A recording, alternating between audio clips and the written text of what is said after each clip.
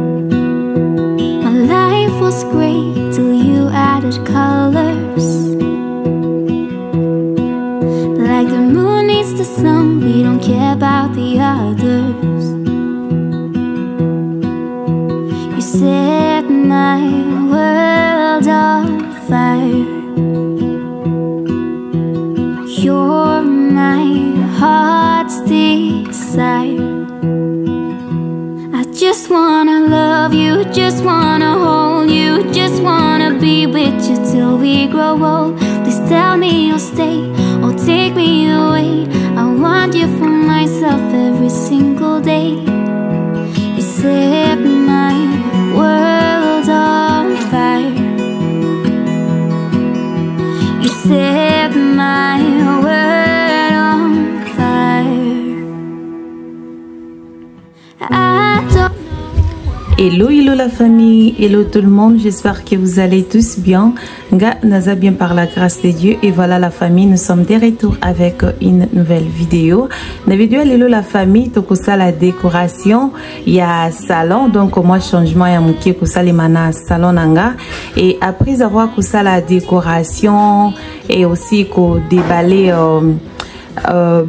bakiti na nga oyo nayebisaki la famille ke batindelaki ngai bakiti ya sika na kompani ya sportif flexix sport pardon na kompani ya flexix sport batindelaki nga bakiti donc uh, tokofungola yango mpe tokoarrange yango lelo donc après kosala nyonso wana nakosala mpe recette ya mbika donc uh, nakosalela bino recette ya mbika ya baboule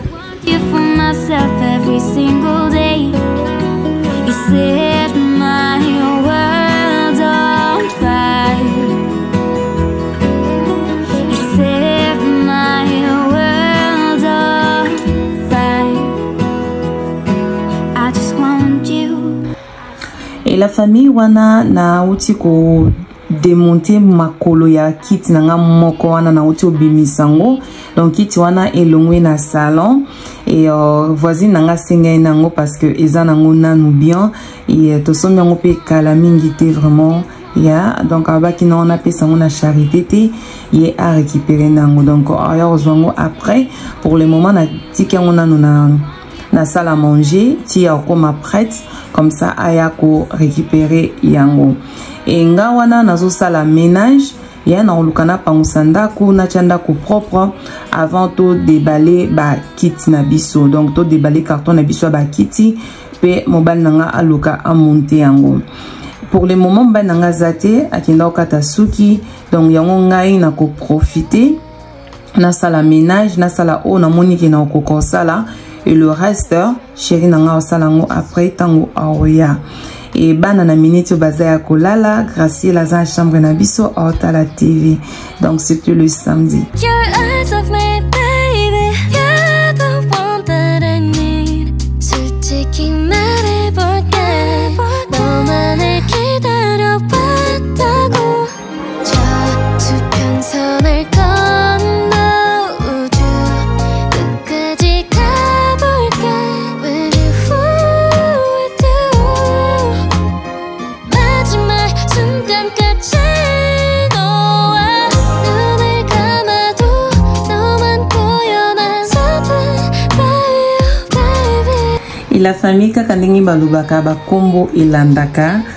en tout cas nayebi te so nasalaki erreur ya kobengaka lipasa na ngai ya mobali uh, samso botala makambo asaleli ngai nayebi te so balafami bozomona tv ndenge ekabwani en fait natike bango na salon natiaki dessin anime moko oyo lipasa mobali archange junior alingaka te uh, sikoyo natiaki yango ntango natie samso asiliki donc arcan junior samso asiliki mpo ani natie uh, dessin anime wana mais lokola baninga eh, bajeune fille na ngai balingi na bango batala na bango dessin anime wana eh, bango baza mibale aza moko so natike bango kaka bongo ngai nake na ngai na cuisine ake kolamba ale samso ake abeti likofi na tv la famille TV ekabwani en deux parties neti ndenge euh, Moïse akabolaki mai na Egypte mpo bana ya Israël baleka. Botala nde TV ekabwani en deux parties. Donc naokeka Graciela agangi etango na ye na salon mbango nde Graciela explique nga kino Samson abeti likofi na TV.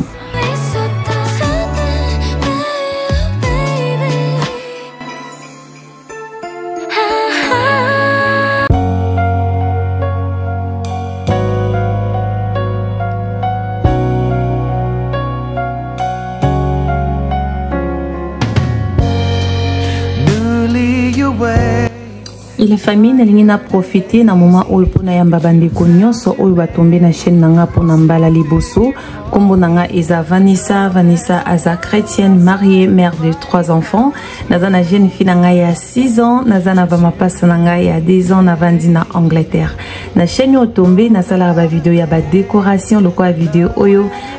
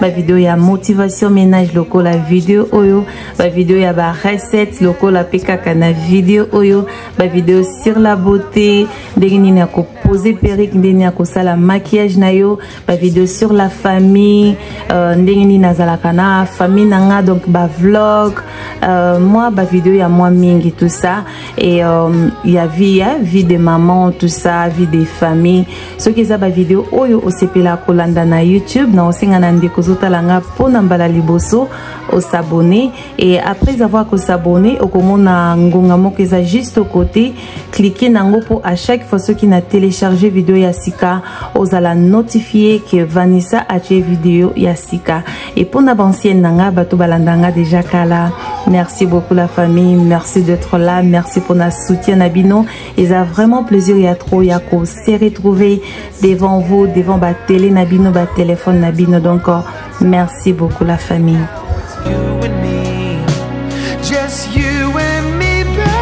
Ok la famille, tozokoba kaka na décoration na biso. Voilà, tozokoba kaka na makeover na biso, living room makeover. Donc voilà. Euh, père double ayo tya bakiti kala mingi to ayo monto yango kala mingi te eh, nga nasali oyo namoni ke nakoki kosala na makasi na nga euh, naza na nga makasi na kotya bacouleur ya na kosala bamakambo mosusu mais kote vraiment komonte ba, ba, ba furniture en tout cas nazala makasi te ye yeah, wana vraiment eyelanga te nakoka vraiment te nayebi te ndeni mais makambo mosusu badécoration banini na nanga fort donc voilà la famille ndenge nalakisa bino bafoto bafoto na biso yango oyo nabimisi yango ya naokita bacadre wana naluka nakotisa kotisa yango j'espère que eozala mesure moko mpe ezomonana vraiment minene moi bafoto na biso ezalaki couleur oyo te ezalaki nango couleur nango normal mai nga moko na na change yango e nalingaki mpe te ke ezala vraiment noir blanc ya noir blanc ezala mpenza molili te nalingaki yango na mwa mwa eh, mwa nini mokie mwa couleur mokie ye nde bomona awa mpenza ezolakisaka elamba na biso tolati tolataki eza couleur ya rouge malgré que bateinture ebimi vraiment ye yeah, bapembe ebombami eh, bachoco frappant ebombami eh, baki américaine awa ebombami eh. mais et ça va nalingi yango vraiment boye je pense que boye mpe ekende vraiment bien na look ya ndako na nga donc naokitisa siko bacadre naluka na salon naotyela bino bafoto ndenge ezalaki avant ye naotyela bino foto pense mopanzi oyo ndenge foto ezalaki avant bomona na ndenge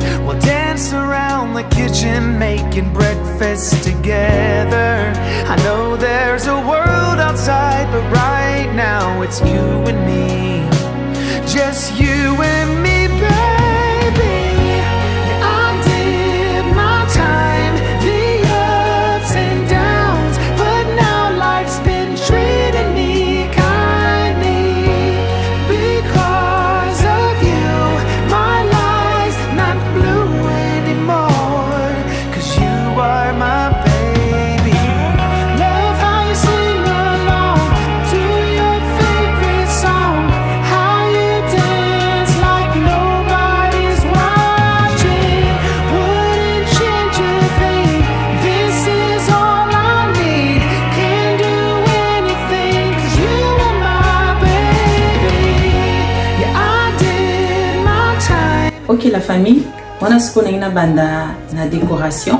ana tanda père double aomontele nga kiti nga naluka nabanda nanga kodebraye natala nde nini nakodekore parce que nazwi telema babiloko ebele babiloko nazwi eza babiloko nasepeli nalingi na utilize mai nakosalela nyonso te eza quand même ebele donc nakopona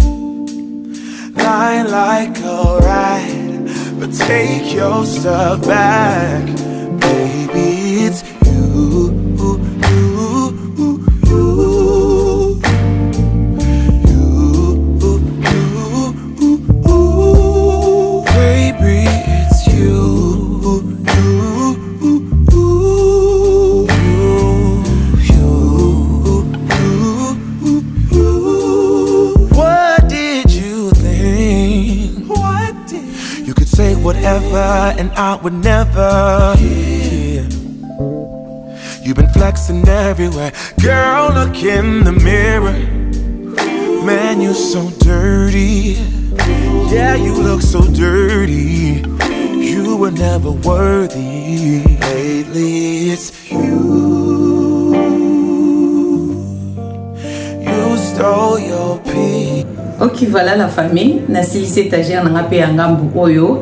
euh, voilà nde bomoni euh, décoration na nga nakotisi mwa bafleur baplante ye yeah, bafleur ekoti vraiment mwa mingi na salon raison pour laquelle nasali yango eza juste mpona kosymbolize ke toza na saison ya été ye yeah, toyebi bien ke à partir déjà ya printemps ye yeah, bafleur ebandaka kobima baplante ya sika ebotaka donc uh, voilà e na ete mosusu mpe ebotaka lisusu donc euh, yango wana nakotisi kotisi mwa bafleur na betagere na ngai atiecheche mwa baplante tout ça donc euh, voilà mpo esymbolize ete donc ntango moto akota mama na salon azosanti mbaa moko ambiance wana donc euh, voilà c'est un peu ça etant tokokɔta na automne tokosalela mpe baplante mai baplante na biso otomisa baplante oyo neti esali mwa kokauka eh, baplante oyo eza mwa eh, bokomona ngo kaka donc euh, saison na saison ezalaka na ba na bathème nango ezalaka na badécoration nango donc euh, voilà so mpe esala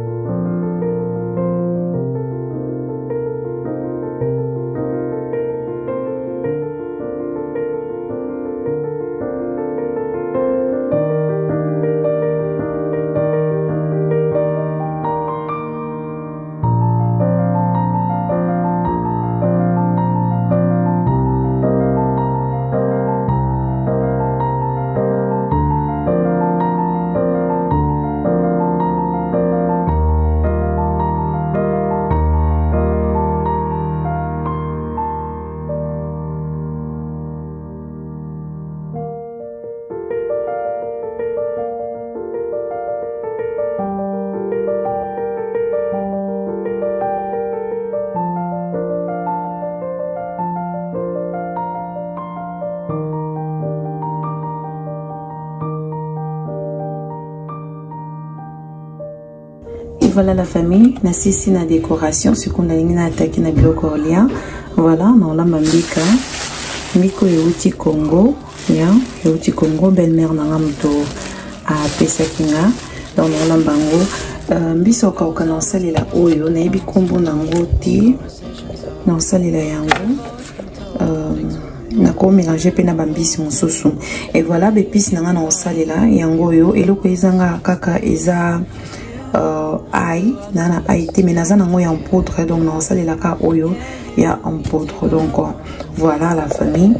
biloko na nga nazolamba yango oyo nakosala yango mba moko parce que père chéri na nga ayoki nzala donc naprometaki na ye soki so afongoleli nga bakite lelo nakosalela ye repas na ye euh, préféré voilà oyo eza mbika ok la famille natie mbika na ngai na mwa bolo ya moke natie mbika na ngai na bolo ya moke voilà sikoyo nalingi nabanda kofina uh, mbika na ngai mpo aluka abimisa mafuta et eloko na osala normalement na video nasalela bino deja ya, ya mbika nanikaka baepisi nga moko donc nanikaki ndembi moke na ai moke nasangisaki yango na kibe magie na vegeta Uh, natiaki yango na kati ya poussière na nga oyo ya eh, mbika na nga mpodre nabandi kofina nango mpo naluka napesa mbika na nga azala na mwa gout mais na video ya lelo na osala eza mwa différent donc na ko mélanger euh, euh, mbika na nga na mélange oyo mélange oyo eza ba ndembi donc eza presque ba biloko nyonso yeah eza presque ba biloko nyonso oyo tosituasizonaka ba biloko baniki yango esika moko donc bamélange yango esika moko eza naturel moto asalela ye ngango eza mama sophie je pense que la famille boyebi déjà mama sophie bokanga bakombo e soki boyoki mare sof eza mama sophie soki boyoki mare riva eza belle mare na nga mama jeannette donc soki boyoki euh, la patronne eza mama betty Uh, tante na nga mama na ngai oyo abokola nga donc soki boyoki la brésilienne seke eza tante na nga oyo azalaka matata azalaka na birmingham donc bokanga bakombo voilà moto asaleli ngai mélange oyo eza mama sophie donc asala yango vraiment vraiment bien jour eza mokolo oya kotala bamapasa oya kotala biso na ndako na osenga ye asala comme ça alakisa la famille mpona bato bokozala interesse eza vraiment vraiment vraiment bien en plus babiloko ya naturel boye eza bien mpona santé ye bamaladi ekomi ebele ebele ebele la famille parce que babiloko tozo consomme surtout baesprit baépice tozosalela ezosalema vraiment na baproduit oyo ezopesa bénéfice na basanté na biso te alors kosalela babiloko naturel eza bien mpo parce que ezo eh, ezokimisa biso na mwa mwa bamaladi tout ça donc euh, voilà donc euh, eza vraiment bien en plus etiaka babiloko gout donc fo naluka jour to aya comme ça tosala video alakisa biso ndenge nini asalaka yango donc asaleli yanga yango mibale naza na oyo naa mpe na mosusu fai nabimisa yango me lokola naosala mbika nabimisi yango te problème eza te na olakisa bino yango la famille voilà donc naozwa quantité ndambu nazosopa yango na kati ya mbika na nga alino banda kofina yango nazofina mbika na nga na maboko ti akobimisela ngai mafuta donc ntango abimisa mafuta namoni mpenza ekomi na forme na mwa bien nde nakobanda kosala baboule na ngai ya mbika e ba épice na nga oyo nakosalela yango sauce après ntango mbika na nga akobela wana mpe fo naluka natya mbisi na ngai ya kokauka na mai abanda deja kolemba normalement fai nasala yango banda kala mai naa na systeme nasalaka alembaka vraiment rapide nakolakisa bino yango mpela e voilà nakozwa mwa quantité ya boye natia yango na mbika na nga nalakisa eso ata mwa ndambo natie na mbika na nga boye e c'est bon wana sikoyo nakobanda komanse yango na maboko ozomase ozofina ozomase ozofina ozomase soki oza na pareil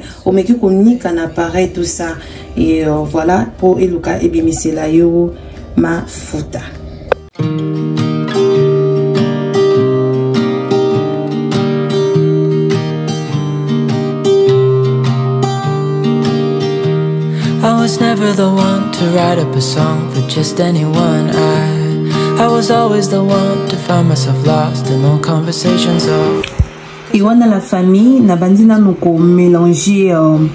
mbika na nga na euh, pati wana na o mélanger wana na lutu ale après nde naoya kofinafina yango na maboko donc naomelange yango nao na lutu ale après nde naofina yango na maboko en même temps mpe natie mai ya moto nde bomoi natie mai na nzungu natie mai ya moto ya pamba natie eloko te na kati donc natie kaka mai ya moto ale après nakozwa mbisi na ngai ya kokauka nakotya yango mpe na mwa bol wana moke nakotya yango mpe mai ya moto ale nakokende kotya yango na micronde na macroeve ya nakotya yango ata mpona 7 minutes obie 7 ata 10 minutes ocouvrir yango bien en tout cas la famille système oyo elembisaka mbisa okauka makasi donc omoi nde tozala koma olingi olamba biloko oyebi ke otya mbisa okauka otye mbisi na mai banda kala mpo eluka elemba donc soki ke okazu ke obosani ke osalaki bongo te sala système oyo nalakisi ochauffe mai na yo ya moto ale otie mbisi na yo na kati ya bol ale okotisi yango na kati ya micronde otie uh, ata ti 7 minutes omona mbisi na yo akolemba vraiment akolemba misuni ezala vraiment pete na monoko donc yango nakosala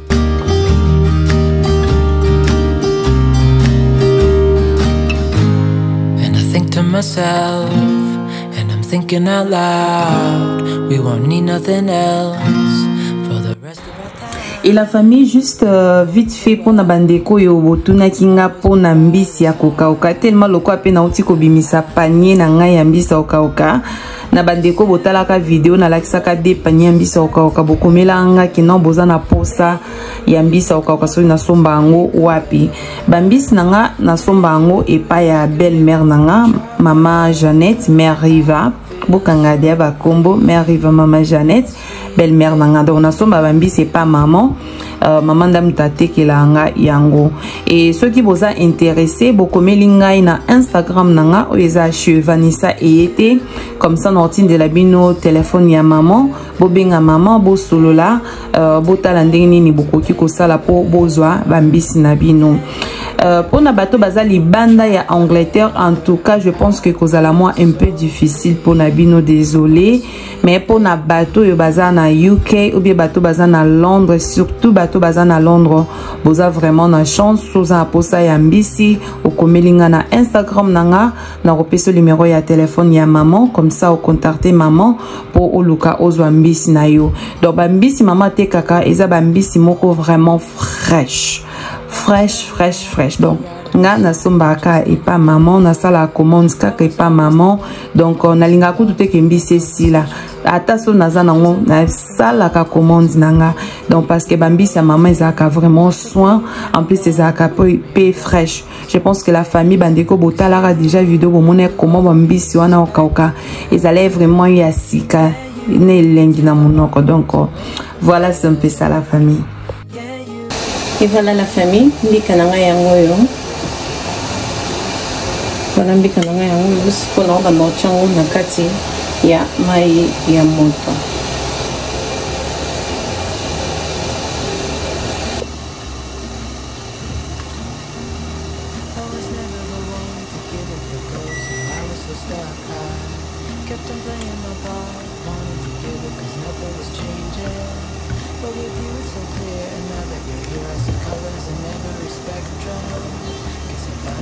et voilà naotika mbika na nga alemba wana sikoyo naokende kosala uh, mbisi na nga nake kosokola mbisi na ngai voilà wana mbika na biso donc soki abimisaki mafuta te oubien soki afinamaki bien te ntango otya yango boye akobanda mbala moko kopanzana donc akopanzana mbala moko donc mpo mbika na yo ereusir epanzana te kozwa vraiment temps ya kofina yango vraiment ozofina yango vraiment bien donc euh, na koconseille la famille oniki mwa ndembi na yo moke na mwa ai na yo eh, otye mwa ai mwa ndembi comme ça mwa mai wana ya ndembi na ya ai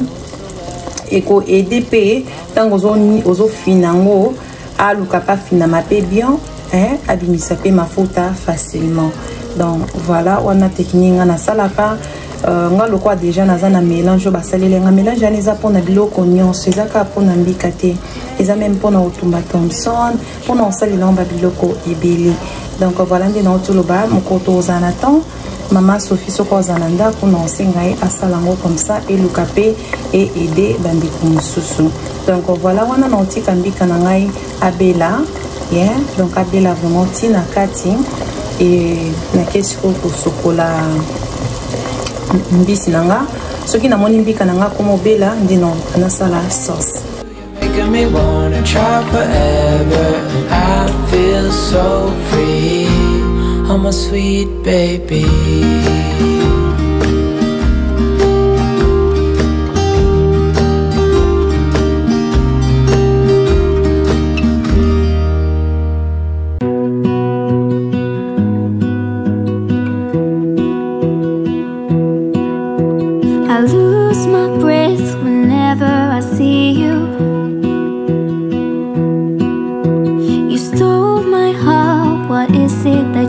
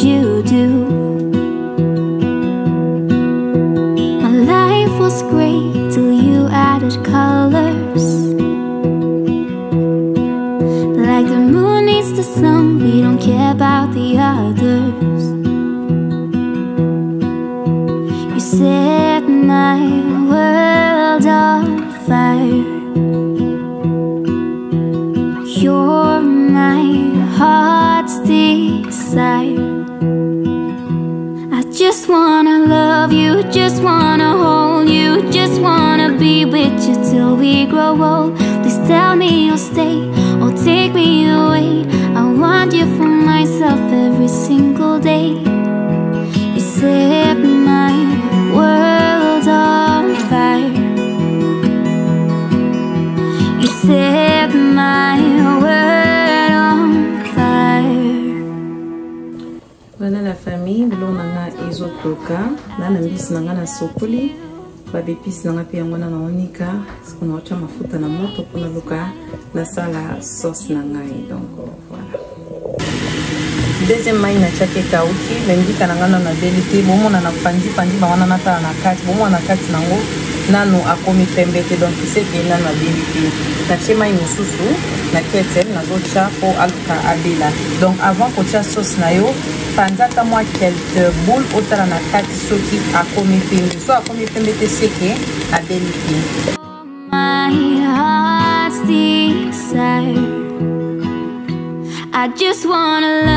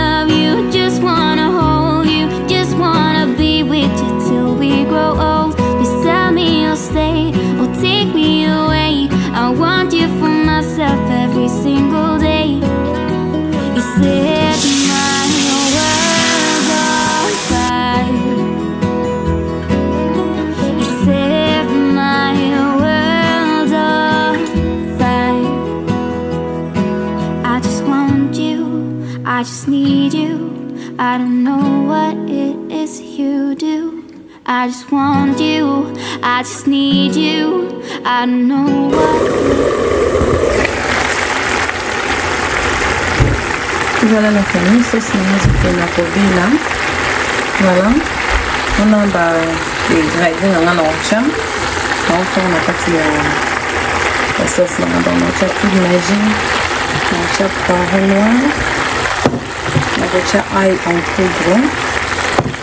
nakotya poussière ya evalalaka evalalaka mingi kana biso ya bele bomai na kati nde mpe ezala mpe ezala boye donc nameki yango nyonso aza pembe donc c'est bon na meno nakotya sauce na nga na mbisi na nga ala mpe natiki mbika na ngai abela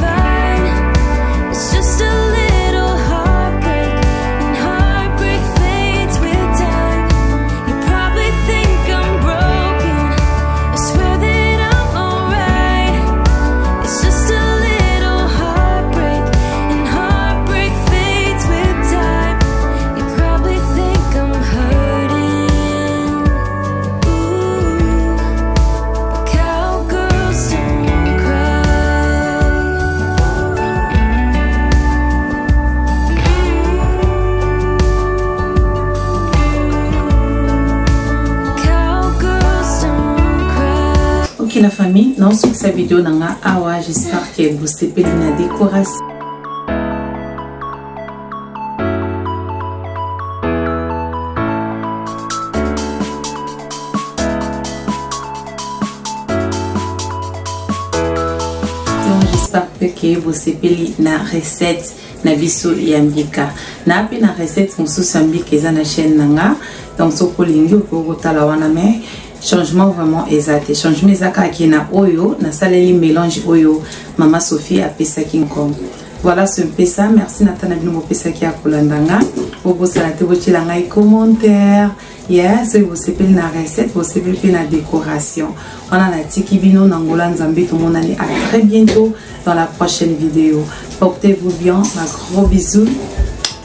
ciao ciao